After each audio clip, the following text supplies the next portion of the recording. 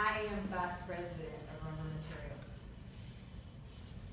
I know the history, I know everything that's been in the past, and I know what needs to be in the present. I know the most of what goes on with this company.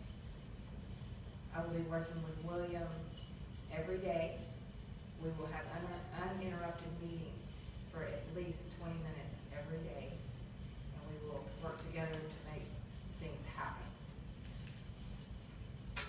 I will get this plant back on track where it needs to be, to make it profitable, to make it the world-class organization it needs to be. We'll be making improvements, and by doing that, we're going to increase profitability by fifty percent. The second thing I'm going to do is I will be spending at least thirty hours a month that will be uninterrupted I will be taking and trying to increase sales. I will be increasing sales by at